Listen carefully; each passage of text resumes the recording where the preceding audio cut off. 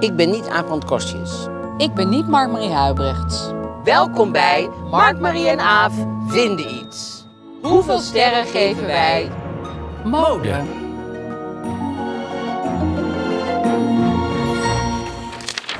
Nou, daar zijn we weer. Zijn we. we hebben wel een beetje fout gemaakt.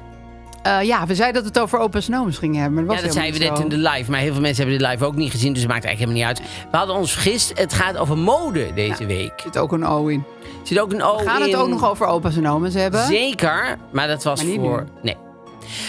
Ehm, we gaan het dus over het hoofdthema hebben, over mode. We, gaan, we hebben een roddelblad, dat is een story deze week. Gezellig. Heel erg lang getwijfeld. Want ik wou ook, dat ga ik denk ik volgende week doen, de quest. Oh ja, ja er staan heel leuke weetjes, weetjes ja, in. dat is heel erg van de weetjes. Ja, want als je dus meedoet met eh, de slimste mens, dan krijg je daar een jaar lang eh, een abonnement ja, op. dat heb ik dus nooit. Dat is toen niet bij me aangekomen. Oh, Maar goed, maakt niet uit, joh. Nou, maar toch, ehm, dat wil je nou verklaren. Ja, ik wil even klachten. Maar goed, dus volgende week quest, maar de- de- doen we nu de story. Eh dus uit dezelfde hoek. En, ehm, Ook weetjes. en we hebben natuurlijk de vraag van de week. Zeker, probleem. En we hebben een suiker. Om. En die kennen we al een beetje. Ja. Ja. Best Secret. De De secret. exclusieve kledingcommunity. Ja. Fashion community. Ja, waar je voor uitgenodigd moet worden. En dan word je via ons uitgenodigd. Maar als we straks een brugje, brugje vinden en we gaan, het hoofdthema is mode. Eh, ik denk dat het gaat lukken. ik denk dat het één Zodra grote brug legging is. valt, zijn we er al. ja, het is één grote overgang. lange brug. Ja, het is een brug. Het, het, het zijn pond, pontjes. Het is, alles gaat naar de mode toe en Ja, naar Best. Secret. Alles. Was jouw week? Ehm, nou, ik, ik kwam op een nieuw fenomeen. Dat had ik dus nog helemaal niet gedaan. Je komt nu op plekken waar je dan even een zelftest moet doen. Ja. Van, oh, we doen even met z'n allen een Ja. zelftest. En ehm, ik vraag me serieus af hoeveel mensen die zelftest nou echt goed doen. Oh ja? Want ehm, ik hou niet van eh, stokjes in mijn neus. Nou, oké, dat moest dit jaar af en toe. niet. Nee, jij wel. maar jij hebt het liever dan van hout en met zo'n heel groot rond. Dus xylofoonstokje zeg ik er even bij, want het is radio. Maar, ehm, maar ik, ik stopte dat ding zo een beetje in mijn neus. En, eh, Oh, niet diep eh, genoeg. nou ja, weet ik veel. Dus ik zei, nou, het kriebelt wel. Is dat het punt waarop ik moet stoppen? Ja, ja, ja, stop maar. Toen deden we het in dat vaasje met die vloeistof. Wie, wie zei stop maar dan? Nou, de leidinggevende daar ter plekke, die zei, oh, als het kriebelt dan... eh, Oh, er was een leidinggevende bij. Ja, maar niet een officiële GGD-medewerker natuurlijk. Dit was gewoon, gewoon- even een, een gezelschap dat ging samenwerken. We doen allemaal een test. En toen, toen ging mijn zoon er een doen, want die zit nu op de middelbare school. Dan moet je ook af en toe een zelftest doen. En die las toen dat je hem twee en een halve centimeter in je neus moet steken. Nou, ik heb best wel een grote neus, maar 2,5 centimeter is best wel een eind. Maar dat is, dat is gewoon je, je neus, of niet? Ja, maar dan zit je wel al zo bij dat, bij dat, bij dat, Ja, bij de doorgang. Bij dat bordje. Ja, en daar is, het te, daar is het te vinden volgens mij. Ja, maar, maar Marie, serieus. Heb jij wel zo'n zelftest Ja. Ga jij dan echt zo, zo tot het moment dat je zo... Nee, ik ga niet zo ver als ze doen als je Nee, getest wordt, zeg maar. Maar dat durf ik ook helemaal niet, want die mensen duwen het zo verder in dat, dat, het- dat het medisch niet verantwoord is. Maar, Ja. Dus dat zou ik zelf nooit doen bij mezelf. Nou, ik vroeg me dus af... ehm, ja, zijn er mensen die dit nou echt doen? Of doen ze allemaal zoals ik, een beetje zo poer poer? Nou, eh, ja. nou dat was mijn vraag. En was- het was eigenlijk een open Het was negatief dus. Ja, het was negatief. Nee, was ik Iedereen was negatief. Iedereen was negatief, ja. Ja, iedereen was negatief. Ja, nee, ja, ik, ik heb dus wel een zelftest gedaan. Dat heb ik best wel ver, maar niet, niet, niet zo eh, zoals het officieel is. Zeker niet. Ehm, Een beetje een kwestie waar ik mee zat. ja, gewoon. dat snap ik. Ehm, En jij? Ik zat deze week. Nou ja, ik heb me gisteren weer heel erg druk gemaakt over eh, eh, die, eh die ASO-print, zeg maar. Dus over Prins Bernhard en, en Formule 1 en Chef dat Special. verhaal van Chef Special. ja, Ja, maar dat is toch echt gewoon. En het, het erg was, gisteren hadden ze in op één, wat ik eigenlijk nooit kijk, maar eh, waar ik nu even langs zepte op een of andere manier. Daar hadden ze het erover. En eh, toen uh, liet ze dat stukje dus zien van, uh, van hem. Van George Chef Special. Die ja. zei van. Um, wat belachelijk moeten we voor 0 euro komen vrij. Toen zat Astrid Joosten daar en die zegt: Ja, ze mogen het vragen wie niet waagt, wie niet wint. Denk ik, nee, er is ook nog zoiets als gewoon fatsoen. Dat je gewoon, als je zo'n groot evenement er doorheen drukt, zeg maar. Niet waag wie niet wint. Ze gaat er ook niet aan Max Verstappen vragen... hé, maar zou je het eventueel voor niks willen doen? Ja, of aan haar Want en, wie en, niet waagt, en, wie niet wint. En, en, en Theresa de Boeren, zou jullie gratis die is Want zij doen toch samen, hangen ze altijd bij de wijnboeren om Finoloog. Om te kijken of er nog... Finoloog en gastvrouw. Ja, precies. Ja. En er staat er op, op dingen zijn goedgekeurd door Ja. Astrid en joh, die mag gratis die fles wijn... Ja. want wie niet waagt, wie niet wint. Dat vind ik zo dom. Je hebt ook nog gewoon een soort fatsoen. En ik vind dat eh, zeker na twee jaar Ja. eh, gewoon niet te kunnen hebben gespeeld en zo. En dat je dan mensen vraagt. En ook, er gingen zeggen, ja, Davina Mi- Michel die doet dan ook gratis het, het, het, ehm, eh, eh, het, eh, de Wilhelmus zingen. En zo. Maar goed, dat is een eer. Nee, dat is heel zo een moet je eer. ook Daar moet ze gewoon toch voor betaald krijgen. Tuurlijk. Zij moet dat gewoon Kan alles wel een eer gaan noemen. Ja, wat een onzin Nou, maar zeg. ik vind het ook, het is natuurlijk heel erg uit die hoek eh, en ook eh, ontzettend beledigend voor artiesten die al twee jaar niet hebben kunnen werken. Maar ik merk het ook heel vaak met optredens dat je dan wil je er optreden en dan zeggen mensen er is geen budget. Maar dan denk ik, ja, er is geen budget. Dat zeg je toch niet tegen de timmerman als hij bij Nee. je komt. Fijn dat je die kast timmert, maar er is geen budget. Het is al een soort voldongen feit. Van, en Ja. dat gebeurt veel met mensen in creatieve beroepen. Ja. Want je vindt het zo ontzettend leuk om te doen. En je hebt van je werk je hobby gemaakt. Ja. Dus, of je van je hobby je werk bedoel ik, maar dus eigenlijk weer je hobby, want je doet het dan om niet. Ja, want we hebben ook ook wel eens een keer met iemand eh, eh, naar Rome geweest voor een programma. Ja, ga je, ga je, ga je, dan ben je mijn gast in Rome. Nou, dus ik nog vrij naïef, ik mee naar Rome. De- twee dagen. Ik heb van Rome echt bijna niks gezien, want ik moest heel de tijd moest ik van hier naar daar lopen. Ook altijd van die loze Loopjes. loopjes, moeten doen. Ze zou je nog één keer van de lopen vandaag.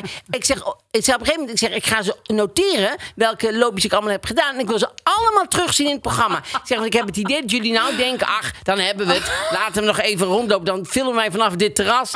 Filmen we wel dat hij daar loopt. En dan, snap je, doe mij nog Ja, een pizza. loopjes doen is ook gênant. En, en toen stonden we op een gegeven moment even zo te wachten bij, eh, op Sint-Pietersplein, bij de paus. En ehm Leuk, en dan zeg ik tegen de paus, ik zeg, ik zeg nee. Ik zei tegen die groep, ik zeg, iedereen is hier betaald. Ik zeg, cameraman is betaald, geluid is betaald, presentator is, is betaald, alles is betaald, behalve ik. Ja. En ik moet de hele tijd op en neer lopen doen. en loopjes doen. En ik mag nooit iets zien. Nee, en en toen, eh, toen kwamen we langs een, een soort winkeltje. Nou, nee, niet een soort winkeltje, het was gewoon echt een winkeltje. En eh, daar hadden ze, hadden ze eh, borden met de paus erop. Ja. Dus met beeldjes, niet met de echte pauze erop, maar met beeldjes met de pauze erop. En dan oude pauze zegt, oh, die zijn leuk. Toen zei de presentator, je mag er één uitkiezen, die krijg je. Ik kost er 5,95. Je mag er één uitkiezen. Ik zeg, ja, ik kan niet Nee. kiezen tussen die twee. Ja, je mag er één. Nou, d- Oh, guller dan Prins Bernard. Oh, dat vind ik echt, vond ik echt zo stom. Ja. Maar goed, daar was deze week helemaal niet om. Ik had deze week, had ik, had ik op internet, ben ik ineens gegrepen door een film die... eh, Nee, niet een film met drie benen en, eh, en acht ogen. Nee, nee, dit is iets anders. Dit is een film van Jerry Lewis. Ja? Die heeft, weet je wel, die eh, Ja. Jerry Lewis, die, die comedian, zeg maar, Ja. die in Amerika een beetje verguisd is. En in Frankrijk. Is dat zo? Dat Ja. wist ik niet. Ja, in Amerika wordt een beetje op hem neergekeken, zeg maar. Dus dat, dat, nu is dat wel weer aan een beetje aan het kantelen, maar toch. Vanwege dat een iets simpele. MeToo? Oh, te simpel. Nee, dat Oké. een simpele comedian is, zeg maar. Van eh, slapstick en vallen en zo. Ja. Vinden ze daar dan eh, dingen. Maar in Frankrijk is hij een soort godheid. Oh ja? Ook Godard en al die hele grote regisseurs lopen helemaal weg met Jerry Lewis films en met hem als, als eh, fenomeen. Hij heeft een film gemaakt en die film heette The Day the Clown Cried, heet die film. En die film is verdwenen. Hij wilde die niet uitbrengen. Hij heeft er zelf een soort eh, montage van gemaakt. Maar de schrijfster van de film... die heeft geen eh, toestemming gegeven om hem uit te brengen. En toen zij eenmaal dood was, mocht, ze, mocht hij hem uitbrengen. Maar dat wou hij zelf niet meer. Want hij schaamde zich. Vond het eigenlijk een verschrikkelijke film. Ja. Film. Nou ja, ik heb stukjes van gezien. Maar je kan hem dus ergens zien. Nee, je kan alleen maar op internet stukjes, kleine stukjes Oh. of, of foto's zien van de opname. Het gaat over een clown in, in Duitsland die, die een grap maakt. worden. Ja, die een grap maakt over Hitler. En dan eh, komt hij in een concentratiekamp en dan wordt het een hele vrolijke film. Dus het is een soort totaal misplaatste, Wow. rare comedy geworden in een concentratiekamp. Beetje En- La Vita e Bella, maar dan Ja, La Vita een Bella had ik al. he- Hoe vond je die? Had ik problemen mee. Ik ook. Ja, had ik echt wel problemen mee. Want? Nou ja, dat hele ding van... cutie, concentratiekamp. We maken het toch leuk. Ja, hallo. Ja, dat, ik vond, nou, ik vond, de, de, ik vond, ik vond de, de boodschap van de film wat een beetje concentratiekamp zit tussen je oren. vond ik een beetje. je kan het Dat ook zo- gewoon gezellig hebben, hoor. Dat is zo ja. erg als je het zelf maakt. Nee, dat, echt, vond ik hoor. dacht van jongens, het was gewoon erg. Ja, ik moet even zeggen voor de mensen die nooit de film hebben gezien. Dat was, eh, ging over een- vader en een zoontje. Maar heel veel mensen vonden het echt schitterend. Ja, dat was Oscar gewonnen of zo. weg. Maar er En- waren denk ik ook veel Amerikanen die niet precies wisten wat een concentratiekamp nou eigenlijk was. Ja, en eh, dat je daar niet uit kon. En, eh, dat dus, dus was. gaan een vader en een zoon die gaan de concentratiekamp in. Die worden er inge, inge, inge, Stopt. Ze gingen niet uit zichzelf. Worden ingestopt. En dan doet die vader, om het voor dat zoontje een beetje leuker te maken, doet net of het een spel is. Ja. Toch? Oh, nu moeten we, nu Oh, moeten we dat doen? Dan gaan we dat doen en zo. Nou, dan blijkt ja. uiteindelijk dat dat een hele goede insteek was. Want eh, Ja, dat kind heeft niks door.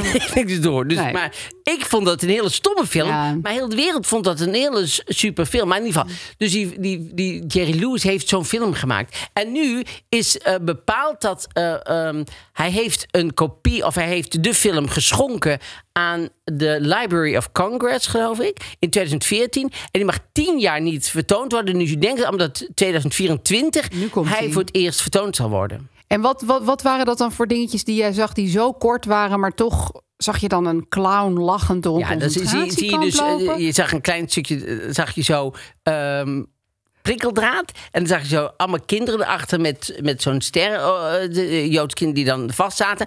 En dan stond hij zo aan deze kant zo. En dan deed hij twee. eh, Twee van die spijkers in zijn mond of zo. En dan ging hij zo. eh, en dan werd hij Wow. neergeslagen. Nee, maar dan werd hij neergeslagen door een, een nazi-man. Een nazi-man. Een, een nazist. eh, Nee, Nazi, Nazist. ze ook wel heten. Een nazi? Gewoon een nazi. Ja, Ja, dat is gewoon nazi, woord, lekker kort. En, en toen werd hij neergeslagen en dan kwam hij op en dan deed hij zo met zijn hand zo tegen zijn hoofd alsof hij saluut maakte. En dan viel hij weer op de grond zelf. Dus dan sloeg hij zichzelf eigenlijk daar. Het was, Wow. ik, ik kan me helemaal voorstellen dat je denkt, nee, dit is het ergste wat er ooit is gemaakt. En hij heeft gezegd, in een, een persconferentie werd hem ooit gevraagd van, goh, gaan we die film ooit nog zien? Zegt hij nee, want eh, ik schaam me er heel erg voor. Het was verschrikkelijk werk. Ik heb me daar helemaal op verkeken. Ik had dat nooit moeten maken. En vond ik ook weer zo Ja, eerlijk. ja, heel en, eerlijk. ehm, en dus, maar ik ben wel heel benieuwd naar die film. Het is, het is daardoor ook een promotie voor die film. Want je denkt, nou, als je iets zo erg vindt, dan wil ik het toch wel even zien. Want het Maar script... wat jij nu beschrijft, krijg ik echt koude rillingen van. Ja. Vind ik zo creepy, wat Ja. jij nu zegt. Een clown met twee spijkers in zijn mond. en allemaal prikkeldraad en kinderen. sowieso clown. Dan kan wel sowieso clown is Sowieso moeilijk. clown. Maar ehm, nee, dus ik ben wel, ja, ik ben, ik ben, want het script is wel bekend, geloof ik. Dat staat ergens. Dat kan je gewoon zo lezen. En er is ook nog, want het is een hele enorme cult rondom die film. tuurlijk. Wat ik niet, ook helemaal niet wist. Nee, ik ook niet. Dus, want die Jerry Lewis nog even heel kort en dan gaan we gewoon naar het thema. Want het thema is mode en eh, daar moeten we natuurlijk eh, over hebben. Maar eh, wat Jerry Lewis bijvoorbeeld deed als een comedian. Ik weet natuurlijk nu weer niet welke comedian. Maar dat was een comedian die had iets gewonnen. En een prijs natuurlijk. En die had, of de lotto. Nee, die had iets gewonnen. Die had bingo. Die had iets gewonnen. En toen had Jerry Lewis opgebeld. Toen had Jerry gezegd: Goh, wat leuk dat je gewonnen hebt. Uit Frankrijk had hij gebeld. Wat goed dat je gewonnen hebt. Zo. Nou, die comedian vond dat zo leuk en lief van die Jerry Lewis dat hij belde om hem te feliciteren. En toen kreeg je drie, drie weken later kreeg je de CD opgestuurd van dat gesprek. Dacht Jerry Lewis, dat vindt hij vast leuk. Om, mij dat te horen zeggen. bewaren. En toen had hij gewoon de CD Als opgestuurd. dat gesprek. buitennissige figuur. Hè? Dat je van jezelf denkt, dit is echt Ja, iets om dit, te dit, fijn dat ik even op record heb gedrukt. Wat Ja, raar. dit zou hij leuk vinden, echt waar. Stom, hè? Rare man. Nou, ook Ja. wel grappig. Ja. Zeker, zeker. Maar Hier is mijn telefoongesprek met jou. die mensen hebben het altijd zo hoog zitten met zichzelf, zeg maar. Die vinden allemaal zo van, allemaal eh, Goed, Behalve als ze iets met een clown doen. Ehm, we zijn bij het thema. Ja, het thema is mode. Ja, We wisten het niet, maar nu weten we het ja. wel. mode. Eh, Wat heb je met mode? Ja, ik, ja, ik vind... Het werd ons een aantal keer a- eh, eh, aangeboden door luisteraars. Waar, daar moeten jullie het over hebben. En ik heb vooral heel veel... Ik, ik ben echt... Ja, je zou het niet zien, want ik zit nu in een zwart t-shirt. Maar ik heb heel veel met kleding. Ik vind kleding, dat heeft me al mijn hele leven heel erg geboeid. Oh ja? Vroeger hadden wij een schoonmaakster en die werkte ook in hotels. Een hulp, een werkster, ik weet niet hoe je het moet noemen. Een hulp. Iemand die de teringzooi bij ons probeerde aan Ja. kant te krijgen. En die werkte ook in, een, eh, in het Hilton of zo'n groot hotel. En die nam altijd modebladen voor mij mee. En toen is dat al begonnen. Dan zat ik de, bijvoorbeeld de Amerikaanse Vogue of de Australische Vogue, zat ik dan te lezen. En dan keek ik steeds naar mijn eigen kleding. En dan dacht ik, oké, als, ik, als ik het nu in een bepaald soort licht en met mijn ogen een beetje toegeknepen en ik doe, dan is het bijna wat.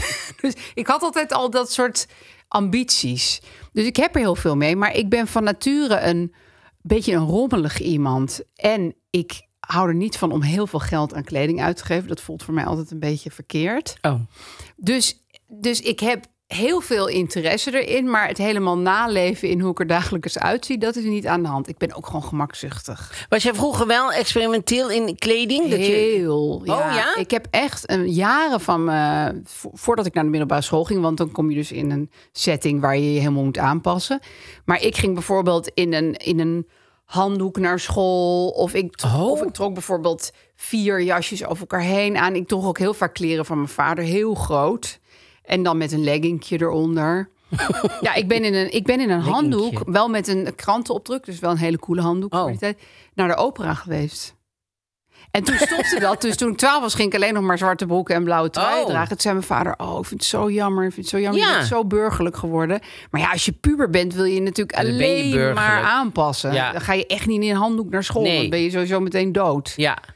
En jij? Jij houdt er ook wel van, toch? Ik hou ook wel van, ja, ik hou ook wel van kleding en zo. Maar ik was vroeger was ik wel iets uitgesprokener. Vroeger, eh, nou, ik weet nog wel, toen ik jaar of 17 was of zo, dan eh, dacht ik, waarom kijken mensen toch allemaal? Maar ik zag naar de foto van mezelf terug en dan loop ik op de, op de boulevard van Zandvoort in een eigen gemaakt pak. Had ik een Oh ja? soort eigen gemaakt pak, was gebaseerd op One Flew Over the Cuckoo's Nest, zeg maar. Die hadden van die Clowns. Oh nee, dat is niet Nee, dat is clowns. niet meer clown. Dit was gewoon zo helemaal zo'n soort judo-pak eigenlijk, maar dan zonder knopen. Dus het was eh, recht, maar dan van zwart stijf materiaal. En de broek had ik ook zelf gemaakt, maar ik kon ik natuurlijk eigenlijk helemaal niet. Japansachtig. En had ik zelf, de- met wit had ik daar een soort tekening op gemaakt van Barbara Streisand. En dan liep ik met een hele groot, met een zonnebril, met van die zijkleppen, die zo je ogen helemaal dicht maken, zeg maar. Met een tas, zwarte tas van Cats, liep ik zo op de, op de, de Je af dingen. te vragen waarom je je naar keek. Terwijl ik, als ik nou die foto terugzie, denk ik...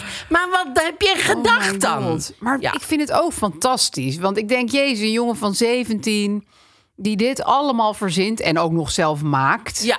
Hoe had je Barbara Streisand dan? Had je met krijt gedaan of zo? Of Nee, met, eh, met eh, eh, wit eh, textielverf. Oh ja. Had en dan haar erop op, zeg maar. Ja, een beetje in, in, een soort, ehm, in een soort, eh, hoe zeg je dat? Niet helemaal eh, uitgewerkt, maar gewoon een soort eh silhouetachtig. Wow. Ja, nou dat zag er echt nog wel best eh, outfit. grappig uit. Maar, ja, maar heel extreem wel. Ja. Dus ik had vroeger wel... En dan had mijn zus... mijn oudzus had van die, van die India... weet je wel? Je had vroeger... Van die jurken. Ja, maar ook van die blouses. Ja. Een beetje... Ja, missionaris in Afrika hadden ze ook. Die, die, die hadden dan... Nee, maar die hebben dan zo'n soort... Zo'n grote blouse. Ja, maar dan met zo'n eh, met zo'n batik-patroon, Ja, zeg maar. Dus, eh, en die deed ik dan ook aan naar school. Ja. En dan zei, ik, zei ze op school, nee, een meisjesblouse. Zeg ik, nee, maar dit was een eh, weddenschap tussen mijn zus en mij dat ik dat niet zou durven. Oh, terwijl je wou het eigenlijk Ja, ik gewoon, wou het aan. gewoon aan. Ja, maar je verzon gewoon een smoesje. Ja, voor de smoes dat het toch een beetje normaler werd. Dus ik heb altijd wel typische kleren aangehad vroeger. En ook toen ik wat ouder werd en zo. Maar eigenlijk de laatste jaren denk ik vaak... heb ik ook niet zoveel zin in, moet ik eerlijk Nee, zeggen. Om helemaal Om helemaal aan te bezig te kleden. zijn. Ja, Maar dan- omdat je dan te lui bent of vind je het een beetje... Nee, dan, ik schiet dan in één ding. Bijvoorbeeld deze zomer en de vorige zomer zat ik dan, zit ik heel erg in badstof dingen. Zoek alleen maar badstof. En, en in de, in de winter doe, heb ik nu heel erg vloer. Dus ik doe van, van die vloer eh, dingen aan. En dan heb ik, dus ik heb van die periodes Ja, dat ik alleen maar dat aan doe. Ja. Want dan, eh, dat voelt dan prettig of fijn. Maar of dan heb je wat. toch wel een hele duidelijke mening. Want, want verloer is niet je gemiddelde outfit van de gemiddelde persoon. Nee, dat is waar. Dus doe er zit wel... wel een mening achter. Ja, ja. gevoel. En ben jij ook, want wat, wat ik altijd heb, is dat ik op een gegeven moment iets heel graag wil. Bijvoorbeeld eh, schoenen met een hele dikke zool of zo. En dan eh, blijkt dat gewoon mode te zijn. Dan denk ik dat ik dat als eerste heb opgemerkt. Maar dan eigenlijk kijk ik twee seconden later om me heen en dan heeft iedereen dat aan. Dus kennelijk voelde ik het helemaal niet aan, maar had ik het gewoon al bij heel veel mensen gezien. Nee, dat is natuurlijk ook waar. Dat is zo gek dat je denkt, ik wil dit. Maar wilde je het eigenlijk wel? Je had het waarschijnlijk gewoon al gezien. En dan gaat je, Ja. gaat je hersenpannetje denken dat je dat wil. Precies, want dat is natuurlijk ook het raar met, met mode. Zo, het woord mode. Ik, weet, ik, moest, ik, ik was eh, in Goede Tijd, Slechte Tijd heb ik gespeeld. Was ik eh, eh, Charles Lubeck. Nee, Max Lubeck was ik. Charles Lubeck was Max onze, Lubeck. onze, onze gymleraar. Klinkt een Ehm, beetje als een crimineel. Max Lubeck. Nee, eh, Max Lubeck die had een, had een onderbroekenlijn. Oh. Ik, was een, ik was een ontwerper. Onderbroekenmogul Ik had een onderbroekenlijn verzonden. Heel goed. En dan moest ik elke keer maar bij Babette Verveen in het modellenbureau komen om model uit te zoeken. Dat was eigenlijk mijn rol eigenlijk. Ik zat voornamelijk bij Babette Verveen allemaal te kijken van nee, die wel, die niet, die wel, die niet. En, zo. Wel en dan had ik, ook, had ik ook teksten als van ja, maar is die kleur nu in de mode? Terwijl Ja. modeontwerpers Nee. hebben het niet over de Is mode. die kleur nu in de mode? Nee, nee, dat, zeggen ze echt niet. nooit. Maar goed, ik weet, herinner me ook nog uit die tijd. Het was met Belinda Mulder. Ik zat toen ook in goede tijd, slechte tijden. en Ja, echt kwamen- de gouden jaren. ja, en ik ben een heel, groot fan van Belinda Mulder van haar vertaalwerk. ik vind haar teksten heel eh, fantastisch. Ja. Maar dan kwam ik haar tegen in, eh, want zij ging ook heel vaak naar bordellenbureau. Ik weet eigenlijk niet precies wat zij had, maar goed, ze had ook iets met mo- mode iets te maken. Ze zat ook veel achter de naaimachine. En dan kwam zij, eh, en dan kwam zij binnen als ik naar buiten ging. En toen kwam ze naar me toe, zei ze: Goh, eh, wij komen elkaar tegen bij die deur, maar eh, zijn wij vrienden? Hebben wij ruzie in de mode? Wow. Kijk je mij gemeen aan of ben je juist heel eh, vriendelijk tegen mij? Kennen we elkaar? Kennen we elkaar niet? Wat En is zo. onze backstory? Toen zei ik tegen haar, ik zeg, goh, zullen we eerst even kijken of het op beeld te zien is? Want als het niet op beeld te zien is, dan hoef ik het eigenlijk niet helemaal uit te spelen, zeg maar. Wel, was wel beter geweest. Ja, want zij wou daar wel. Professioneel, Want ja. zij zei, nou, dat doet voor mij niet zoveel toe. Of, en dat vond ik heel professioneel van Ja. haar. Dat ze dat gewoon zo serieus Want ik dacht, ja, het niet te zien, dus, dan bestaat het niet. Nee, maar dat is- Maar dat was bij echt, niet, eh, eh, dat was niet, dat, dat, dat, dat, dat klopte niet. Daar kwam je niet meer weg. Nee, Dus- maar ik zat ook op de jeugdtheaterschool als kind. En dan moest je ook dingen uitbeelden. Hè? En dan moest, ik weet nog heel goed, ik moest uitbeelden dat ik een hondje aan het afdrogen was. Een natte hond. Oh. Nou ja, dat kan ik best, weet je wel. Dan doe je zo een beetje zo van die moves van... Moet je het hondje wel voor je zien. Precies, moet je hondje voor je zien. En, en toen was ik klaar. En toen zei mijn toneeljuf... Welke kleur was de handdoek? Ja, En wat zei jij? geen idee. Ja, dat weet ik. Ja, goed huilen. Nee, ja. Snel bedacht. Nee, maar toen dacht ik, wow, dat is, dat is acteren. Ja, Nou ja, dat is een beetje wat zij al probeerde duidelijk te maken bij die deur. ik heb toelating gedaan voor de, voor, voor de toelatingscursus gedaan voor uh, toneelschool. Eh, ehm, Welke in Amsterdam? Ja, van Ja. Erik Jan Jonker heet hij, geloof ik. Een klein beetje verliefd op. En die, ehm, die eh, dan, moest je, dan zaten alle studenten zo in de, in de kamer en dan moest je binnenkomen en hadden ze iets verstopt.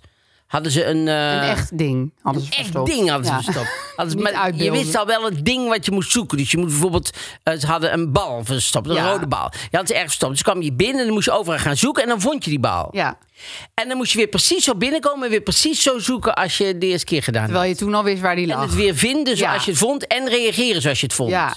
Ja, dat is best wel een goede is opdracht. echt moeilijk. Ja, want dan moet je dat helemaal en dan moet je het verrassing en eh, wat je eerst zag en hoe je het zag, Ja. weet je wel. Dat vond ik een hele goede opdracht. Ja. En ben je- ben je daarvoor gezakt? Natuurlijk. Ja, ik ben overal. Ik ben nergens aangenomen. Want in, in, in, in, in, Maastricht was ik te dik, vonden ze mij te dik. Hebben ze me wel heel die week raar, laten hè? doen, die eikels. En toen zeiden ze dat, ja, we hebben niet eens over jou gestemd, want je bent te dik. Ik denk, ja, dat hadden al op maandag ook kunnen zien toen ik mezelf aanmeldde. Van, goh, de, ja, dat, heeft dat je geen in zin. die week ineens zoveel was aangekomen. Ja, precies. Oh, wat Stom, hè? erg, hè? Wat een, wat een middeleeuwse een praktijken waren dat zijn dat, eigenlijk. ja. En toen ging ik daarna, wou ik, wou ik eh, solliciteren, wou ik auditie doen voor de kleinkunst. Maar dacht ik, daar ben ik misschien ook te dik voor. Toen heb ik uit een telefoontje, omdat ik mezelf zo schaamde, met een andere heb ik gevraagd, goh, kan het zijn dat jullie ook, dat je, als je te dik bent, dat je bij jullie niet wordt aangenomen? Oh. Zielig, hè? Wat Ja, vond ik wel zielig. Stond ik daar in mijn pak van Barbara Streisand in de... In, in, Met je zonnebril, in- met zei ze, nee hoor, dikke mensen zijn welkom. Nee, Dikke mensen zijn vaak grappig. en heel gezellig. Maar we, we zoeken nog iemand voor de kantine. Maar ehm, nee, dus ik. eh, Maar toen ben ik daar wel. Toen ben ik ook afgewezen. Maar toen ben ik daar wel eh, ook. Heb ik, Maar dat was gewoon puur op Oh, talent. Dat was gewoon talent dat ik niet had. Ja, jezus, overal afgewezen. Dat is ook iets. Erg, hè? Ja, ja. daarom begon ik nooit aan dingen waar je voor afgewezen kon Ben worden. je nooit ergens voor afgewezen? Nou ja, ik deed gewoon geen audities, want ik dacht... eh, Ik, ik wilde ook heel graag naar de toneelschool, maar ik dacht, die auditie, dat ga ik niet overleven. En dat ga ik niet doen. Dat, Verschrikkelijk. En in Maastricht, dat was ook zo erg. Want dan eh, kan ik nog kwaad om worden. Dus, dus hadden ze me afgewezen omdat ik dik hij was. slaat nu heel boos in het rond met zijn armen. Ja, met, met zijn armpjes. Zat hij met zijn dikke armpjes zit hij nou gewoon zo. eh, Ze zijn inmiddels dun. nou, echt niet. Maar ehm, eh, dan moest ik in mijn onderbroek. Ja. Voor een, een, eh, commissie van vijf mensen Oh. moest ik in mijn onderbroek allemaal oefeningen gaan staan doen. Ja, ga nu op- met je voeten plat op de vloer en dan op je hurk en zo. Terwijl ik dacht, dat is. Waarom dan? Waarom dat? Ja, om dan willen ze zien hoe je met elkaar. Dan willen ze, willen ze gewoon zien. En eh, leuk, maak ze foto's. en en ehm, maar, maar als ze me toch niet aannemen, hadden ze me dat ook kunnen Gadver, besparen. dit, dit was precies wat ik voor me zag als ik aan audities dacht. Ja. En dan dacht ik, nee. Ja, ik heb één keer auditie gedaan voor, ik weet niet meer wat, een of andere student toneel. was van, doe een sexy kat na. oh, Een sexy kat? ja. Het gênantste wat je kan verzinnen. Dat je dan sexy over de Ja. grond moet gaan sluipen. Nou, het- Mag ik geen hond afdrogen, zei jij? ik kan klushanddoek heen. Maar goed, mode. Verschrikkelijk. En, die, en, en, en nog eventjes over Maastricht. En er, werd, er was dan een leerling die, die hielp ons groepje, zeg maar, daar. En er was alleen nog iets. En die lag heel de tijd van Krikkenstein met een van die, eh, die ook auditie deed. Het schijnt Ik dat denk, dat ja, veel dat is voorgekomen op toneelscholen. Ja, maar dat ja, als je iedereen ene- heel in zijn onderbroek naar ballen laat zoeken, dan weet je en het die wel. dikke applikant die stond daar maar gewoon een beetje zo eh, te wachten tot zij eh, van Krikkenstein terug waren met z'n tweeën. Dat was super zielig. Zonder in mijn onderbroek. Maar goed, ehm, daar hadden we het eigenlijk helemaal Zou niet over. Meer kunnen. Want over mode. Ja, want we hadden het dat over is ook nog iets. Eh, eh, mode is natuurlijk, want we- wij gaan eigenlijk heel snel over kleding praten. Ja. Het gaat eigenlijk inderdaad Mode over is mode. iets Hoe- anders, ja. Hoe, hoe, zeer ben je met de mode echt bezig? Nou ja, ik probeer nu te leven volgens het principe. Ten eerste koop niet zoveel kleren. En ten tweede koop wat bij je past. Koopt is je geen kleren, had je toch? Je, nou, je mag geen koop kleren kopen. tweedehands kleren, dat mag wel. Precies, maar je mag geen nieuwe kleren Mag geen kopen. nieuwe kleren Komende kopen. maand of zo? Mag nu, ben ik twee weken geleden mee begonnen. ik hoop dat het lukt. Het is me wel gelukt Oh, goed zo. tot nu toe. Maar, maar wat ik, wat, waar ik altijd een beetje voor viel... en dat is ook gewoon heeft ook met leeftijd te maken... is dat je dan denkt, bijvoorbeeld mijn dochter ziet... wel een sch- gescheurde broek en 10.000 kettingen... en een bucket hat. Meer Nicky Plessen-achtig. Ja, ik, nou, dat is een beetje die, zo die, die TikTok-mode, zeg maar, waar zij dan voor Ja. gaat. Maar goed, die bucket hat, dat, daar heb ik dan ook een zwak voor. Die heb ik ook gekocht deze zomer. Terwijl daar ben ik plus minus 30 jaar te oud voor. Oh. Nee, maar die heb ik ook eh, eh, heel lang opgehad. Tijdens Ja. Wie is had ik altijd een Het is ook eh, gewoon een hoedje. Maar, maar ik denk dus nu steeds, oké, is het mode? En doe ik het daarom of past het bij me? Dat is soms heel moeilijk En dan moet je om- zelf beslissen. Ja, ik kan het ook wel aan voorbijgangers gaan vragen. nou, ik, ik vraag het wel eens aan mijn dochter, want die is heel kritisch. En dan zegt ze van, ja, het is wel in de mode, maar jij moet het niet dragen. Echt waar? Ja, ja, ja. ja, Maar daar ja. moet je ook niet naar luisteren. Want daar zit ook een gedeelte schaamte bij dat je aan moeder bent. ze Zo. schaamt zich En je moet dood voor mij. En je moet je helemaal niet op je leeftijd kleden en zo. Want anders dan, dan zit je de hele tijd... een Nee, soort- dan, nee, maar ik vind dat vrouwen van 46 er vaak superleuk uitzien. Ik heb bijvoorbeeld een stijlicoon, die is ouder, die is 59. Dat is Sophie Fontanel, dat is een vrouw op Instagram. Die ziet Fontanel? altijd- Ja, goede naam, hè? naam, zomaar dus Sophie Fontanel. Fontanel heette. Ja, misschien is het wel bedacht, maar... En zij kleedt zich altijd heel goed. Dus ik denk ook heel vaak, zou Sophie Fontanel dit aantrekken? En Ja. dat is voor mij een beter idee dan... Zou een H&M-model wat ik in de abri zie hangen dit aantrekken? Ja, want wat ik altijd heel erg teleurstellend aan mezelf vind, is dat ik, ik vind veel teleurstellend, maar dat vind ik ook zeker. Dat ik zelf denk, ik ben een vrije geest, ik ben een vlinder, Ja. ik, ben, ik ben een vrije geest, ik doe wat ik zelf wil. Maar dan zie ik iemand met een, eh, met een eh, zo'n eh, tight eh, jeans, zeg maar, denk ik, overschrikkelijk, zo'n wortelbroek, dat ga ik nooit aandoen. Maar na een jaar vind ik dat ineens toch heel leuk. Dat is zo en dan ineens raar. wil ik helemaal niet meer wijpijp. En dan, wil Nee. ik, en dan denk ik, ja, ik ben toch zo gemanipuleerd daarin. Ja. Dat, ehm, Je roept twee maanden daarvoor doe ik nooit. Hij zegt ook altijd, als ik dat roep, zegt hij altijd... oké, ik zet nu de timer aan. Over twee weken Echt loop waar? je erin. Ja, want ik ga altijd roepen... nou, daar ga ik echt nooit aan meedoen. Of zijn jasje af. Ja. Of de fluorescerende kleren. Dat hadden we in de jaren tachtig. ja, Maar de- dat, dat is dus... Ja, dat is een zwakte. ja.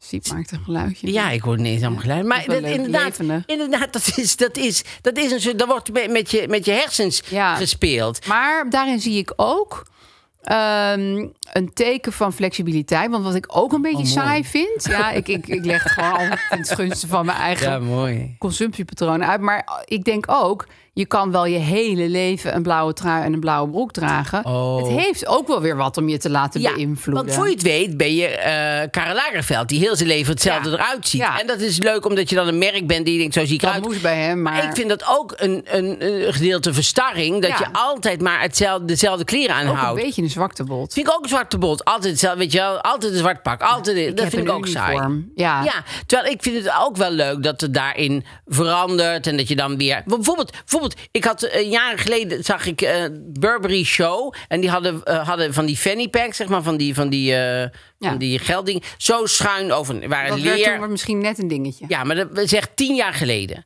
Dat hadden zij toen. En dacht ik, goh, wat fijn. Dat is natuurlijk hartstikke makkelijk. Sindsdien heb ik dat. Heb ik, tien jaar lang heb ik dat. Ja. En dat komt in en uit. En dan gaat het weer weg. En dan is Ja. het er, nu is het dan weer Is in. nu in. Maar dat kan je wel doen. Dat je gewoon iets ergens van pakt. Dat je denkt, goh, dat is Ja, leuk. dat is eigenlijk een En hele dat heb je goeie. dan. Ik heb nu af en toe een sjaaltje. En dat is echt van die eh, Arno Kantenberg, zeg maar. Die zie ik dan af en toe een sjaaltje in zijn blouse. En denk ik, oh ja, dat is eigenlijk wel Ja, leuk. Want dat ja, je moet gewoon de goede iets- dingen afkijken eigenlijk. Maar je moet volgens mij niet... Nou ja, al wel. Ik heb een vriendin en die zei van... Ik ga gewoon naar winkel en dan denk ik gewoon... Doe mij maar die hele etalagepop. Want dan hoef je er zelf ook niet meer over na te denken. Ja. Ja, maar ik snap het Dat ergens wel. Want natuurlijk is er eens iemand met een hele erge modegeest... die die etalagepop heeft aangekleed. En dan kan jij wel alleen maar het truitje kopen. Maar het is natuurlijk eigenlijk die hele pop waar je, waar je door Ja, maar, aangetrokken maar je moet ook opletten om uh, over accessorize. Want ik, ik, ik, iemand, ik ken iemand die had dan, die deed dan bijvoorbeeld, eh, er was een vrouw die deed dan eh, een eh, spijkerrok en had ze een spijkerblouse en had ze een, een spijkerspeld, dan had ze spijkerschoenen, had ze een tas van spijker, had ze een Ja. spijkerbril. Had, Dat ze- is had verschrikkelijk. Gelijk oorbellen. Nee, maar ik bedoel, dan verlies je Ja. jou daarin. Omdat Nee, dan is alles zo bij elkaar gepast. Dus ik vind het altijd ook leuk als iemand een beetje rommelig en zo met een dikke bril. zo ben blij lekker eh, rommelig, zegt, zo met poep op de hoofd. Zo, zo rondloopt. Dat vind ik ook leuk. Dank je. Probeer jou een compliment te geven. Nee, maar ik bedoel, dat, dat vind ik ook iets hebben. Ja, dat- dat snap ik Helemaal wel. los van de mode, gewoon, eh, gewoon je eigen ding hebben. Wij hebben in onze buurt ook een... Nou, het is niet echt een zwerver, maar het is wel een alcoholist. Maar die man ziet er altijd op de een of andere manier hartstikke goed Oh, ja. uit. Dat is zo is dat, vreemd. hè? En ik weet echt... Ik denk dat hij toch, ondanks het feit dat hij dronken is... een inherent gevoel voor stijl heeft. Want hij ziet er altijd toppie Ja. uit. Bij ons in de straat ook. Ja. Bij ons in de straat ook. Is iemand en die is heel mager. Je zou denken, goh, dat is een oude junk misschien of zo. Of, of nog steeds. Drinkt alleen maar maar op vla. een of andere manier heeft hij dat. En ook niet dat hij zichzelf heel... En hij is oud. Ook niet dat hij zichzelf heel bijzonder kleedt. Heeft dan een spijkerbroek en een, en een goed wit overhemd of zo. Maar die, dat, ziet dan, dat ziet er meteen goed... dat je denkt dat, meteen, hè? goh, dat is een schrijver. Of dat Ja. is iemand die... eh, snap je? Dat, dat, Dat hebben klopt. sommige Ja, mensen sommige gewoon. mensen hebben dat gewoon automatisch. Ja, Ja, ja, maar wat dus- ik dus lastig vind aan het, aan het absorberen... Ja, je zit ontzettend te dreigen. Nou, maar- ik denk ineens... Nee, je hebt gelijk. We hadden, we- we- we- maar ik moet nog even één het is zo'n groot thema Misschien moeten we eigenlijk. er nog een deel 2 aan Ja, vastplakken. misschien mode 2, maar dat doen we volgend jaar. Ja, dan doen we bijvoorbeeld ook een keer over broeken of zo. Ja. Want ik vind bijvoorbeeld Niki Plessie, die is dan heel erg met de mode. Maar da, da- da- die vind ik er dan... Nee, nee, maar dat is het gekke met modemensen. Die zien er vaak ontzettend vreemd uit. Ja. Want die zijn te veel in de mode. Zeg dingen toch, eh, eh, eh, Eddie Izzard, die, die, die comedian, had daar een, stuk over. Die zei van, je hebt, mode gaat in een ronde. Dus dan zie je er modebewust, mo- heel modebewust, Ja. heel modebewust. Echt geweldig modieus, looking like a dickhead. Het ligt vlak naast elkaar. Dus heel erg modieus. En als een, als een idioot eruit ziet, Ja. dat ligt gewoon naast Maar dat elkaar. is erg die vrouw van Absolutely Fabulous. Die natuurlijk het altijd te veel. En dat is inderdaad ook altijd... dat- als je op een dag denkt, ik ga me nou eens even echt goed aankleden... dan zie je er vaak net heel belachelijk uit. Nee, want dat zie ik vaak als ik dan bijvoorbeeld als je in, in Antwerpen bent of je in Amsterdam of je bent in grote steden of zo, dan zie je altijd mensen die daar een dag naartoe gaan, die hebben dan hun mooiste kleren Ja. aan. Die hebben dan leuk, die hebben gedacht, ik ga, nee, ik vroeger ook. Kwam ik uit Tilburg, had ik een, had ik een ribvele pak en had ik een stropdasje en dan dacht ik helemaal van, nou, dit is, nou, dit is Ja. het leukste wat er in Tilburg rond, dit zal echt in Amsterdam hoge ogen gooien. Ja. En zo lopen mensen rond en zo. Dat vind ik heel leuk. Ja, in hun beste goed. in hun beste Ja. goed, zondagse Ja, maar soms vind ik dus juist dat als je soort van in het halfdonker... s ochtends je aankleedt en je wist het even allemaal niet... zie je er soms dan leuker uit. ja. Dat vind ik heel raar. Nou ja, dat is, dat is wat er dus gebeurt net voordat je op vakantie gaat. Want dan heb ik altijd al mijn kleren in de was gedaan. Ja. Dan doe ik zomaar even iets ouds aan. denk ik, oh, dat had ik eigenlijk ook wel mee willen nemen. dit is eigenlijk hartstikke dit is leuk. Dit is het. dat is stom, maar dat is dan te laat. En dan moet je weg. Ja, of dat trek je dan aan in het vliegtuig of in de auto. Dus dat ga je de rest van de vakantie, dat is dan met, met angstzweet bedekt. Ja. Dus dat was dan je beste outfit. Ja. Had oh, ik- dat lijkt me ook zo. Nou, het lijkt me natuurlijk verschrikkelijk als je naar Af- uit Afghanistan moet, eh, moet vluchten. En zeker als je afhankelijk bent van. van Nederlandse regering. Oh, mijn god, hebben we het er weken over. En nou zijn ze overvallen. Het, het, het is gewoon nou, net in als... andere landen hadden ze het er al maanden over. En die hadden gewoon een plan. verschrikkelijk? Ja, maar, maar je wordt toch gek van deze regering? Maar ook omdat je ze niet weg kan sturen. Ik word er gewoon, Nee, je kan ze echt niet gewoon wegsturen. knettergek van. Ja. Van allemaal. Echt van eh, allemaal. Ja. Ja, het is, het is echt zo gênant en verschrikkelijk. nou ja, goed. Ehm, maar we- we- ik hoor dat we eh, eh, door moeten. Wil je Hoort moet ook sterren geven. En we hebben, moeten nog naar, naar, de, naar een Oh, we bruggetje. hebben- Jeetje, we hadden dat. Och, nou hadden we we- het bruggetje nu bouwen dan? Want Ja, we want we zitten hebben- nog in mode. We zitten helemaal nog diep in mode. En we hebben notabene een modesuikeroom. En die gaat erover. Fashion Best community. Secret. Ja. Wat, Ja. Is, wat is Best Secret eigenlijk? Best Secret zal ik jou vertellen. Nou, Best Secret is wel grappig. Want ik, ik hou altijd wel om van... eh, nou, ik hou er wel van. Nou, ik eigenlijk helemaal niet van. Maar goed, om lid te zijn... Nee, maar ik wou zeggen, daar hou ik al van. Dat vind ik eigenlijk allemaal verschrikkelijk. Dat je er ergens lid van moet zijn, zeg maar. Dus Oh, dat- zo, en ja. uitgenodigd moet worden. Dus je, je bent niet... Exclusieve club. Ja, exclusieve clubs. Daar ben ik, weet je wel, de Harbor, weet ik van wat. Van die zei ik met mijn sloep. Maar goed, eh, die moeten ze allemaal zelf weten. Hallo, dag. En, ehm, maar dit is wel een, een leuk, omdat het op internet is. En het heet bestsecret.com. En NL. eh, daar kan je dan naartoe. En dan eh, heb je via ons een, eh, eh, dus een toegangscode. Dus je doet bestsecret.nl slash MMA. Precies. Dan kom je automatisch op de site waar eh, de uitnodiging staat. Er staat de code, die kan je gewoon eh, doen. Die en kan je dan- laten staan, Ja, die die kan je laten staan, die code. En dan ben je lid geworden. En dan heb je soms tot 80% korting. En ehm, Op allemaal grote merken. op allemaal grote merken. Dus eh, dat is hartstikke fijn. Ja. En, je, en het wordt... Kan je je herfstjas kopen, je Ja. tussenjas. Ja, en je kan retour zenden. En het is allemaal super prettig. En dan ben je daar, eh, daar lid van. En ze hebben elke keer weer andere dingen. Ja. Dus je kan elke keer af en toe weer eh, eh, kijken. En dan zijn er weer andere dingen die leuk zijn. Precies. Ja, ik heb er wel dingen. Ja, ik ben ook al lekker aan het rondbrowsen. Maar goed, dus ehm, dat is onze suikeroom. Dus bestsecret.nl slash MMA. Doe je voordeel mee. Meer dan 3000 topmerken.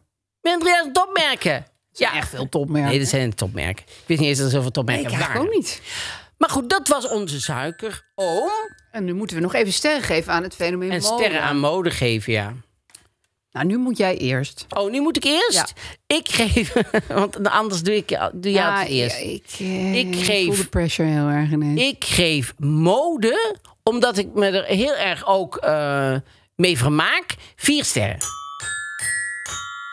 Vier sterren, omdat ik, ik vind het fenomeen, eh, en zeker zoals het nu evolueert, dat ehm, alles eigenlijk sowieso kan en dat er meer adviezen zijn en dat, eh, en dat we een beetje weg proberen te komen bij dat fast fashion en dat we meer de diepte ingaan. Dus dat vind ik allemaal fijn. Ja. Ik geef mode vijf sterren. Oh, Nou, weet je wat ik zo leuk vind aan mode? Dat ik even vergeten te vertellen. Maar ik las deze zomer het boek Sapiens. Maar dan de stripversie. Omdat ik een beetje dom ben. Oh. Maar hartstikke leuk. Maar mensen zijn de enige eh, dieren die zeg maar fictieve verhalen aan elkaar vertellen. Ik weet ook niet precies hoe die man dat weet. Maar ja. ja, weet jij veel wat die robots walvissen dat allemaal... ook wel. Want die walvissen praten heel veel. Ja, die fluiten heel veel. Misschien ook Ja. wel fictieve verhalen naar elkaar fluiten. Maar goed, mensen kunnen op een verhaal helemaal iets... Dan verzinnen ze bijvoorbeeld een godsdienst... en dan gaan ze daar oorlog over voor. Superleuk. Maar dat vind ik met mode ook een beetje. Ik zit nu echt heel filosofisch te Nou. doen. Maar ik denk wat eigenlijk wat leuk aan de mens... dat hij allemaal dingen verzint van... en deze kleur, en daar moet een klein zooltje... en daar moet een klein brillenpootje. En ik vind dat, ik vind dat een teken van leven. Ik Ja. vind mode echt een teken van leven. Ja. En ik vind het ook creatief. En ik vind de laagste vorm van humor is iemand la- uitlachen wat hij aan heeft.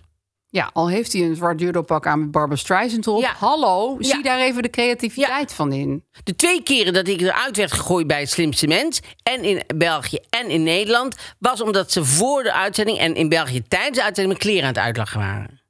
Hé, maar je werd eruit gegooid. Nou, niet uitgegooid, maar dat ik eruit moest, Oh, zeg maar. en toen, en toen Ja, werd je daardoor denk- afgeleid. Ik denk dat dat Oh, het echt? is. Ja, Waarom had je dan in, aan? in België had ik gewoon een, een heel leuk colbertje aan. Maar die Adriaan, ik weet niet eens hoe zijn achternaam was. Molenwijk, denk ik. Ik weet niet hoe die heette.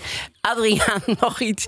En die was heel, heel vervelend. En die zat de hele tijd mijn kleren uitslagen. En ik, toen heb ik op een gegeven moment echt gezegd... En nou is het genoeg, zei Oh, ik. haat dat als mensen En nou ophouden. En Ja. toen kwam later Erik Vloei van... Goh, was je daar door... eh?" Ik zeg, nou ja, ik had het op een gegeven moment wel gehad. Ja, Ja, denk verzin ook iets af. anders. Ja. Ja. En bij de, eh, bij de Simpsons mensen wa- was voor de uitzending... zat ik daar gewoon. En toen kwamen er, ik geloof die eindredacteur of zo... van, heb je je pyjama aan? Ik dacht, pyjama Nee, aan? Hoezo heb oh ik mijn jee. pyjama aan? Je hebt een huispak. Ik zeg, nee, dit is gewoon vloer en dit is ribverweer. Hoezo een Ik zit huispak? in mijn verloerfase, zei jij. Ja, het is toch raar, hè? mensen nou, dan oh. zo... Nou, Ja, ja, maar daar kan ik ook helemaal zo van, eh, van mijn apropos Ja, van ook raken. Mediacorant, dit is geen eh, item trouwens. Dat ik, dat ik uitgelachen ben ik om denk dat ze al en zo. Ik vind, eh, mag ik even een shout-out naar Mediacorant? Shout-out We Mediacorant! hoeven er geen geld voor te hebben, Nee, we hoor. hoeven er geen geld voor te hebben, maar daar geniet ik super van. Ik vind, Zij geniet ook erg van jou. nee, maar ik vind... Sterker nog, je vult in Nee, maar ik vind het heel grappig. Ik vind die eh, schijnbaar een jongen die in het buitenland woont, hoorde ik Ja. nu weer. Oh, ik dat hij in een andere woonde. tijdzone woont. Ja, hij, zijn moeder, hij woonde altijd met zijn moeder, hoorde Ja. ik. En nu woont hij niet meer bij zijn moeder, maar hij woont in een andere tijdzone. Hij is ver van zijn moeder verhuisd.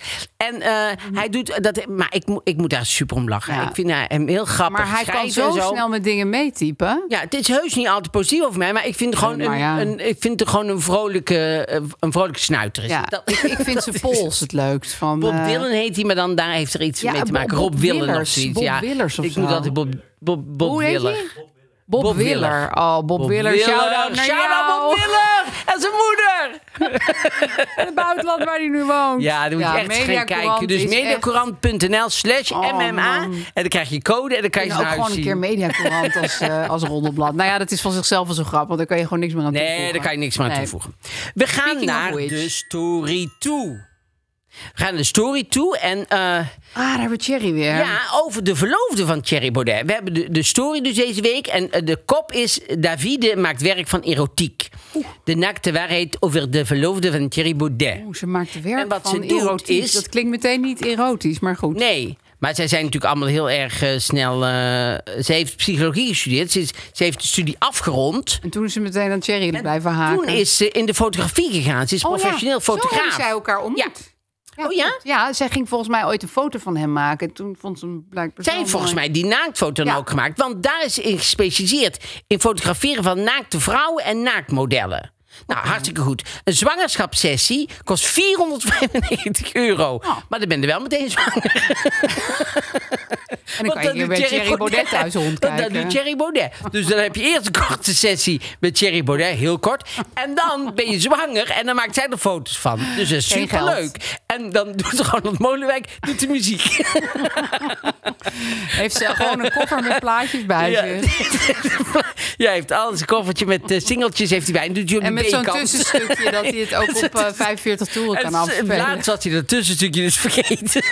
dat singeltje helemaal zo... Dus dan kon hij zijn singeltjes niet draaien. Moest je alleen maar van 33 toeren LP's. gezet, had hij gelukkig wel de grootste successen bij van de top 40. Het ook zo'n borsteltje, toch? Dat hij de grammofoonplaten even zo kan borstelen. Dat alle stofjes eraf zijn. En het hij, blaast altijd zo naar de, naar de pick-up. En dan doet hij zo de, de pluisjes, de, de pluisjes eraf. Want het is heel donker op die seksfeesten. Dus Ja, ik je kan ziet niet op helemaal niet. En platen zijn zwart. Ja. Dat is hartstikke lastig. Hij Dat moet is echt zo voelen met zijn vingers Ja, in dat die is groeven. super moeilijk werk hoor. Want dat is iedereen doet er, doen, hè? Iedereen doet er een beetje lacherig over. Maar dat is super moeilijk werk hoor. In zo'n vochtige ruimte. Waar ook nog geplast wordt en zo. Stank. Probeer er allemaal maar goed te houden. Hij heeft alles al geplastificeerd. Want hij heeft helemaal een lijst gemaakt van welke singeltjes in welke bak zaten. Die helemaal moeten plastificeren. Die moet hij elke keer helemaal afdoen. Dat is super veel werk. Roland. Oh, die Roland, ja, die is echt, is echt goed bezig. Maar goed, eventjes over Davide. Dus die zwangerschapssessie kost 4,95.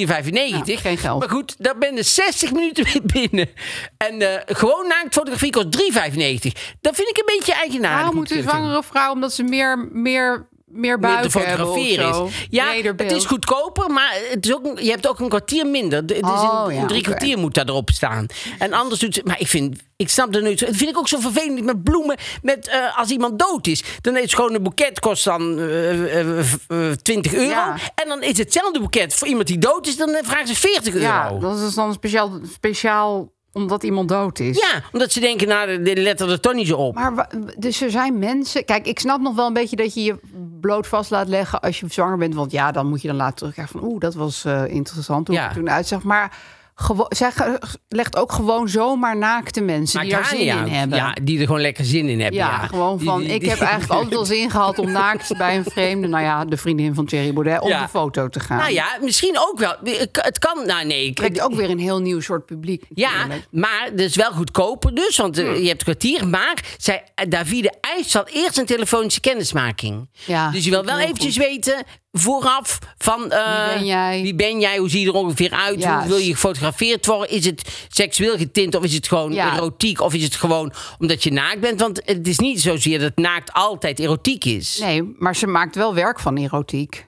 Hoe bedoel je? Dat staat boven het stuk. Ja, maar dus dat het is verzint, ook wel eh, een beetje erotisch wellicht. Maar misschien vinden ze bij de story alles met naakt wel erotisch. Misschien doet zij gewoon hele stijlvolle, sfeervolle beelden. Ja, nee, maar dit heeft Nick Dijkman heeft dit geschreven. En Nick die ziet alles Die denkt altijd meteen van dat is porno. Ja, die is nog nooit met iemand naar bed geweest. Die vindt alles erotisch. Die, snap je, die is heel snel opgewonden. Ja, die die, is- heeft tijdens dit stuk al drie orgasmes gehad. Het is echt gewoon heel zijn voor naar een laptop zit wasteland vol, porno. maar eh, hij heeft, eh, is, is weer een stuk uitgekomen. ja hoor, Nick Dijks. Maar wat zei ik nou? Dijks. Man, nou, in ieder geval. Eh, dus ze wil deze, de- want deze, eh, deze vorm van erotiek, dat weet Nick ook, eh, eh, eh, vereist immers de nodige uitleg. Ik weet snap niet wat voor uitleg. Ja, zo van dit is mijn verhaal. En ik, ik kwam als loodschieter bij iemand aanbellen. En toen vroeg ze of Ja. natuurlijk kon betalen. En En, mag het, en, en ik wil wel naakt, maar mag ik mijn hond meebrengen? ik wil mijn hond ook graag erbij hebben. Dat is twee, twee in één klap. Zou, dat, zou Wel ze daar duurder. extra voor vragen? Ja, zou ze echt voor vragen? als je hond mee wil nemen is het extra. Denk Ja.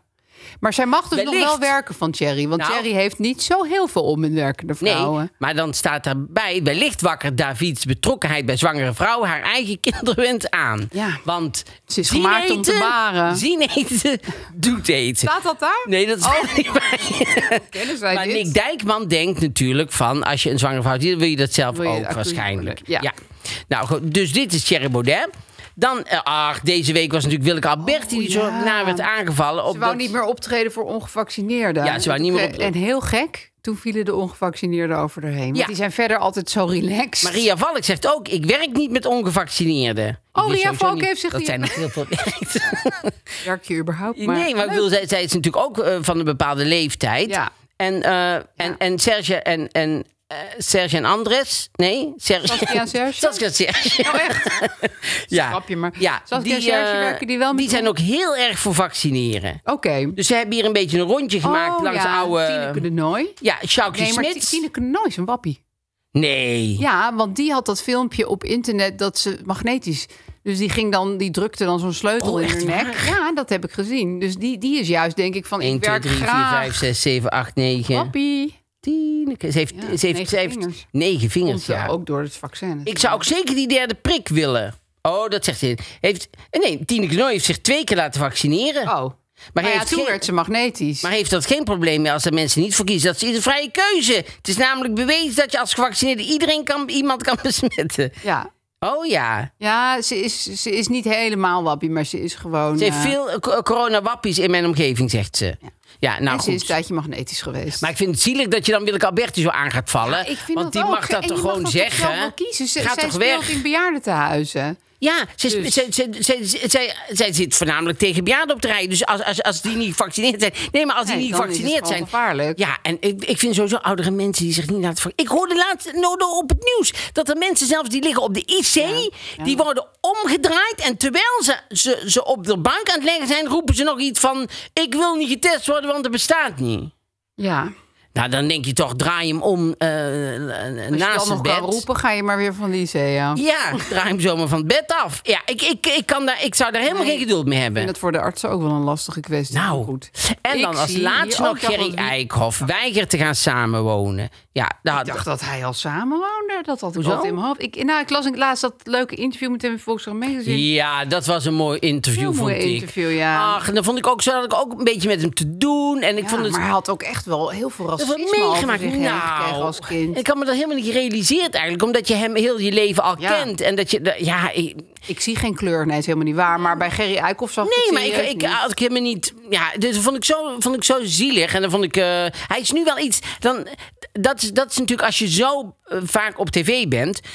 Dan volg je iemand helemaal. Dus elke keer denk ik, oh, heeft zijn haar weer gekleurd. Want Ja. dan heeft hij nou weer zijn haar capuchon. Heeft hij weer naar de kappen. Je ziet altijd zo, Ja. ook al als je iemand dagelijks bijna ziet, Ja. dan eh, ga- gaat dat er Ja, die ineens hele opvallen. kleine dingen vallen je op. Maar dat vind ik juist heel leuk.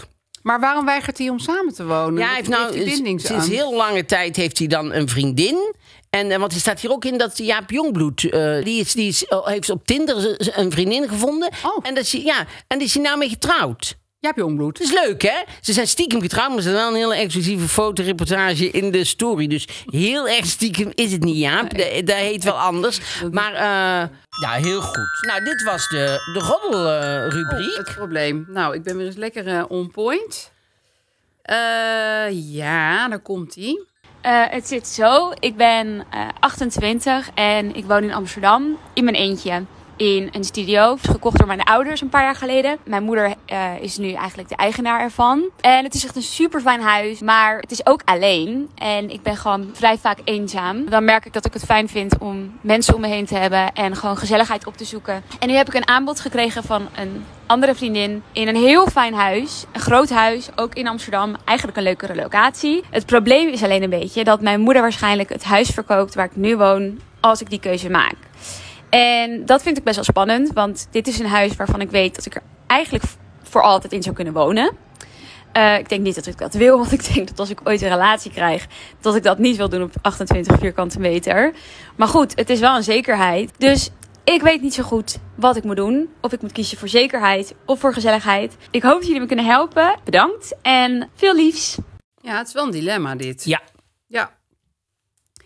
Ik heb toevallig zelf ook ooit voor dit dilemma gestaan. Oh? Ik was ook zo'n geluksvogel van wie de vader in dit geval had een huisje gekocht voor mijn zus en mij toen we gingen Oh, studeren. wat heerlijk. Ja, dat was natuurlijk waanzinnig, want in Amsterdam een huis vinden is hartstikke moeilijk. Ja. En voor hem was het een investering. Nou Ja. ja, ik zeg maar gewoon, dat is privilege op zijn allerbest. Dat Ja. is zeker waar.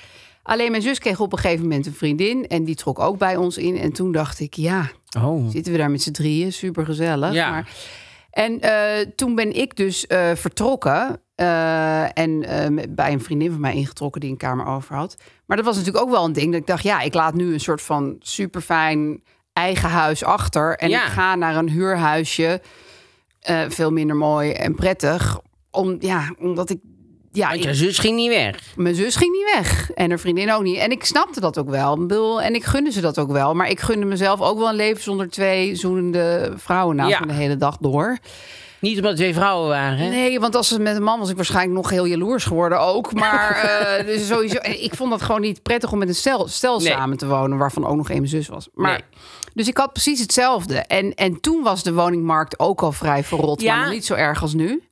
Maar nu is het natuurlijk echt heel moeilijk om zoiets te laten Zeker. gaan. En, maar het is niet helemaal hetzelfde. Maar goed, ga door. Nou ja, ik, ik, ik, mensen vonden het een beetje een luxe probleem soms. Maar ze, sommige mensen weten gewoon niet in Amsterdam. Als je iets hebt, dan wil je dat voor eeuwig vasthouden. Want je krijgt het niet meer terug. Ja, maar haar probleem is, is de eenzaamheid. Ja, nou, Dus dat is echt iets anders. Want bij, bij jou was het gewoon dat je dacht: goh, ik wil niet met een. een, een, een ik, ik wil weg, want dit is Ja. niet prettig. Maar bij haar is het iets anders. Ja. Bij haar is, denkt zij, en dat snap ik zo goed. Want je, je kan het heel eh, eh, eh, fijn hebben dat je denkt: goh, dit is helemaal van mij. Maar, dan zit je daar elke avond. Ja. Dus ik, ik, ik snap wel heel goed. want mensen zeiden van ja, wat een luxe. En dat lijkt het misschien op eerste instantie, maar dat vind ik uiteindelijk helemaal Nee, niet. nee, nee. Want het gaat juist heel erg over een dieper probleem eh, van. En zeker nu, dat heel veel jonge mensen ook eenzaam zijn. Ja, En eh, ik denk dat, dat zag ik ook een aantal keer staan, dat mensen dat gezegd hadden van, als die moeder haar huis nu elk jaar gewoon per jaar verhuurt. Ja. En dan eh, gaat zij bij die vriendinnen wonen. Want ik denk dat dat een goede oplossing is. Ja. Om dat in ieder geval te gaan doen. en misschien kan zij die huurders dan ook manager voor haar moeder. dat de Precies, moeder kan dat zij dat regelen. Ja. Dan heeft die moeder daar verder geen last van. En eh, als dat kan binnen dat huis, dat is met VVE's ook af en toe wel eens gedoe. Ja. Maar in ieder geval, dan, dan zou dat voor haar eigenlijk een hele goede oplossing zijn. Want ik snap heel goed dat je denkt, ik wil dit niet kwijtraken, maar Nee. ik, ik vind het nu te alleenig. Ja. Ik wil, en, en zeker als die vriendinnen dan, als daar zo'n zo'n kans zich voordoet, Ja. dan zou ik denken, dan zou ik dat zeker doen. Maar het kan natuurlijk, want ze zei: Ik weet vrij zeker dat mijn moeder het dan verkoopt. Misschien wil de moeder er gewoon echt wel vanaf. Of heeft ze gezegd: Luister, als jij hier uitgaat, dan verkoop ik het gewoon. Ik heb dat geld nodig, weet ik veel. Dus wij gaan er nu vanuit dat je het gaat ondervuren. Maar, maar er is natuurlijk gewoon een kans dat dit huis dan echt dat ze het verliest. haar alleenwoonhuis, zeg maar. Ja. En eh, in dat geval zou ik misschien toch nog steeds voor de optie met de vriendinnen gaan. Eh, want, want ja, ja, ik weet het niet hoor. Maar Nee, want dan, dan geeft ze een, een huis wat van haar huis is in. Amsterdam op. Ik zou Ja. dan eerder met eh, de vriendinnen afspreken... dat je bijvoorbeeld drie avonden in de week daarmee samen eet. bent, ja. Of dat je daar, snap je, op Maar bepaalde toch wel dagen... nee, hè? zeker. Ja. Maar ik denk dat nu, als je een, een huis hebt... want ze zegt het is 28 vierkante, 29 prima. Ja. Als je dat hebt nu in Amsterdam... Ja. en dat zou dan van jou echt zijn... Ja. dat zou ik om te laten never gaan. Ooit, ooit opgeven. Nee. Daar krijg je zoveel spijt van. Ja. Dus ik, ik zou dan eerder, denk ik... eh, Dus bijvoorbeeld afspreken dat ik eh, een aantal dagen samen eet. Ik zou naar verenigingen gaan. Ik zou Ja. eh, naar, op een koor gaan. Of Ja. ik zou gaan... Ik doe zelf tekenen, schilderen en artis. Zoiets. Je kan Ja. overal tekenen, schilderen. Ook bij het, het Rijksmuseum en zo, wat hartstikke leuk is. Dus ik zou me dan meer daarop proberen te richten... Want het is, ja, het is super stom. Maar je weet niet wat je hebt tot je het kwijt bent. Nou, ik denk dat zij zich dat ook wel beseft, want ze ziet het ook als een dilemma. Ik moet wel zeggen, ik ben zelf ook heel slecht in alleen wonen. Ik heb het ook zeer weinig gedaan. Ik ook. Ja, ik vind alleen wonen echt moeilijk. Dus ik begrijp het wel heel goed hoor. Ik vind dat zo morgens wakker worden en zo van, nou, eh, koffie zetten. Ik, ik, ik weet niet, ik, vind het, ik vond dat ook altijd een soort van tekortkoming van mezelf. Ik denk, jezus, Ja, mens, kan mensen, het nou, gewoon? mensen zeggen dat ook altijd, want dat zag ik hier ook weer. Die ene die dan, waar we het net over hadden, die dan eh, niet wil samen. Gerry. Gerry, Eikhoff. En zo van, nee, ik kan heel goed alleen zijn. Zo. Ja. Mensen zien het ook als een heel sterk kans van zichzelf. En dat is ook zeker. Ja, het is, het is een talent. Kudo's, echt supergoed. Eh, geef jezelf een plaatje. maar ik, ik, ik kan het ook niet zo goed. Oh nee? Oh, Nou, ik ben wel blij dat je dat zegt, want ik schaam me er altijd een beetje voor. oh nee, ik schaam me er ook helemaal Waarom niet voor. kan ik mezelf niet gewoon eh, ja, het gezellig maken? Dat kan ik heus wel een beetje. Maar ik geniet er toch veel meer van als ik met iemand woon... of met een vriendin of met Gijs of met mijn hele gezin. Ja, Ja, ik weet niet. Ik vond dat... Ik, ik heb nog wel één tip trouwens, als je in dat huisje blijft wonen. Ik ben ook op een gegeven moment rond die leeftijd voor het eerst op mezelf gaan wonen. Niet meer met een huisgenoot. En ehm, toen heb ik een kat genomen. En ja, dat klinkt heel raar, maar dat maakte het duizend keer beter. Deze tip kwam ook nog voorbij trouwens, van onze vaste volgster Ginny Ranu. Die schreef alleen maar neem kat. oh, Ik kan me daar echt bij aansluiten. Ja. Die kat heeft toen echt mijn leven gered. oké. Nou ja, niet letterlijk, maar wel Nee, bijna. maar ja, ja, nou ja. Zin.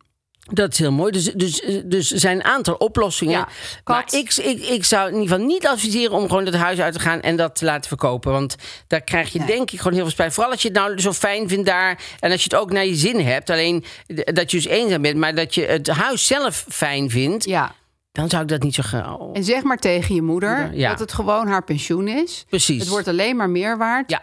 En het op je spaarrekening zetten heb geen zin. Nee, heeft helemaal geen zin. En dat ze jou daar. weg. En dat jij verder alles overneemt. Van Ja. gedoe met huurders en zo. Dat is heel dat jij dat gedoe, allemaal dat doet. zij allemaal voor hoeft ze helemaal niks voor te doen. Nee. En, en, en, en ze verdient toch meer aan? Want ik neem aan dat ze aan die dochter niet zoveel vraagt Nee, als aan, aan een, een Aan een wildvreemde iemand die, eh, ja, die, expat. ja, die naar hier komt. Nou ja, ik denk dat wij dat, dat een, go- een goede tip is. Oh, en ik hoor ook dat we eh, naar het einde toe gaan vanwege dat de telefoon weer begint. Ja, Ehm, nou ja, het was me weer een plezier. mij ook zeker. Tot volgende, oh, volgende week is misschien. eh, Oh, we moeten even vertellen van het live volgende week is misschien live. Oh. Helemaal vergeten te zeggen. Ja. Ja, we gaan een live event doen. Ja. Dus we gaan dan hier in de studio. In Droog, in de Staalstraat in Amsterdam. En, eh, of, of eigenlijk boven in de kantine, want er kunnen iets meer mensen in. In het restaurant. En dan gaan we eh, la- een, een, eh, gewoon een podcast opnemen, zoals we altijd doen. Ja. Maar dan met mensen erbij. Met publiek erbij. Iedereen krijgt een koptelefoon op, dat je het goed kan horen. Wij zitten daar. Je krijgt de telefoon eten en is er. drinken. Eh, we gaan Davide vragen of ze eh, mensen naakt wil Maar fotograferen. Marie heeft ter plekke. Gaat hij wel eerst zijn verhaal vertellen? Met zijn kat. En Roland gaan we vragen of die wil draaien. Dus ehm, nee, nee, maar er komt een live event. Dus volgende week zondag. 5 En da- september om 5 1 uur. september. En dat wordt deze week Op Instagram. bekend. Dus hou de. Instagram gewoon in, in, in Ja, de en gaten. En mijn Twitter. Ik zat ook wel op Twitter. Ja, zet het ook maar op Twitter. En de Instagram is Mark Marie en A vinden iets. Je kan bij Mark Marie kijken op Twitter of bij mij op Instagram. En dan hopen we jullie misschien wel gewoon Nou het ja, echt dus als ik zeg 5 tot- september. Tot dan dan, dan bedoel ik gewoon live gewoon. Nou ja, dat zou wel grappig zijn hè. Als we maar allemaal koffie krijgen. Tot dan.